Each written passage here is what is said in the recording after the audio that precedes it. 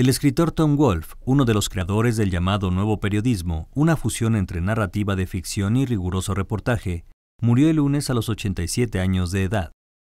Poseedor de una de las prosas más innovadoras en las décadas recientes en Estados Unidos, Wolfe es autor de libros ahora clásicos que supieron emplear la narración en primera persona para describir sucesos reales de manera más dinámica y convincente.